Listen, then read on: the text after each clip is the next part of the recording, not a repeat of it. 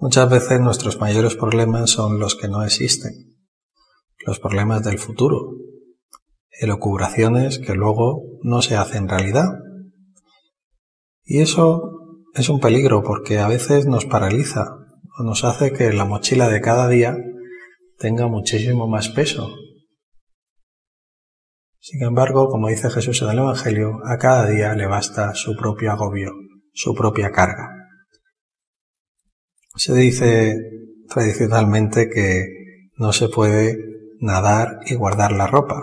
Vas a la playa y siempre hay quien no se baña por miedo a que le vayan a robar algo.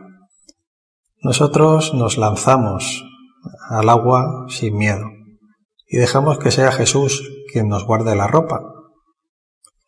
Por eso, ante tantísimas obras buenas que podemos hacer cada día, no podemos paralizarnos por el qué pasará después, calculando continuamente las consecuencias de cada buena acción.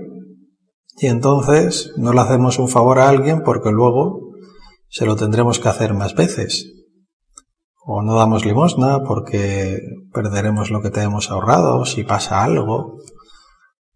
O uno no se entrega del todo, a lo mejor su relación con su novia, porque a lo mejor la cosa mal sale mal y acabaré destrozado. Entonces me entrego un poquito nadando y guardando la ropa.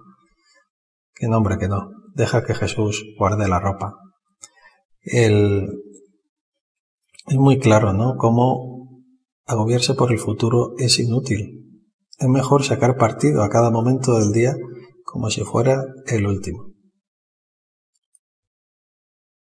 Quisiera poner el ejemplo, muchos conocéis, del cardenal Bantuan, ese obispo vietnamita que estuvo 13 años aislado en la cárcel. Tenía muchos motivos para estar agobiado por el futuro. Pero sin embargo, en sus memorias cuenta su constante preocupación por no desperdiciar ni un solo instante. Habla de aprovechar el tiempo un hombre que estaba incomunicado entre las cuatro paredes de una habitación porque él escribía esto, cada palabra, cada gesto, cada decisión debe ser la cosa más hermosa de nuestra vida. Reservemos a todos nuestro amor, nuestra sonrisa, sin perder un segundo. Dios te regala cada día 24 horas para amar. El presente, haciendo un juego de palabras, es un presente, es un regalo. Por eso vale muchísimo más lo poquito que hagas hoy que lo mucho que puedas hacer mañana.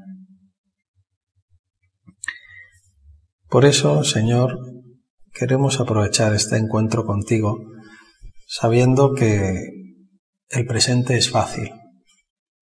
Hombre, cumplir todo lo, hacer la oración todos los días del año es difícil, es una tarea muy ardua, pero hacerla hoy es bastante sencillo. No se pone, lo hace y ya está. Por eso eh, San Juan 23, Santo Papa, escribía esa oración tan bonita del solo por hoy. Que la podemos hacer nosotros también, precisamente hoy. Decirte, Señor, solamente hoy no me voy a quejar de nada. Ya digo, pasarme 10 años sin quejarme es muy difícil. Pasarme esta mañana sin quejarme de nada lo puedo hacer perfectamente. Solamente por hoy no voy a dejar de hacer mis oraciones Solamente por hoy me voy a organizar la tarde para aprovechar bien el tiempo que el Señor me ha dado. Solamente por hoy voy a sonreír a las personas en cuanto me las encuentre y me voy a preocupar un poco por ellas. Así vemos lo fácil que es vivir el presente. Y desde luego mm, puede ser que hacer muchas cosas buenas nos condicione para un futuro, gracias a Dios. Cuanto más cosas buenas hagamos hoy, menos nos costarán hacer las cosas buenas de mañana. Vamos mejorando. Y por eso es como el deportista que cuando hace una maratón, la siguiente le cuesta muchísimo menos y su cuerpo se va acostumbrando, pues tenemos que acostumbrarnos a hacer el bien, que ese sea nuestro hábitat natural. Y para eso, pues más que lucubrar sobre qué hacer y qué no hacer, y utilizando esa calculadora que Jesús no, no utilizó y nos animó a dejarla en un cajón, decir, por hoy, sí Señor, voy a hacer todo lo que tengo que hacer, no me voy a reservar nada, porque como decía ese santo sacerdote, Reservarse para quién? Reservarse para cuándo? Reservarse para nada. No nos vamos a reservar.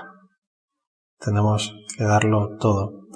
Viviendo también, ¿no? Con esa frase tan bonita precisamente del cardenal Bantuán, de quien hemos hablado antes, que cada día le repetía, concédeme Señor, vivir el momento presente colmándolo de amor.